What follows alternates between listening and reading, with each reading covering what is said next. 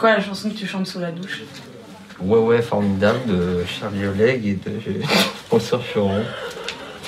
C'est quoi la meilleure chanson pour un samedi soir Ouais, ouais.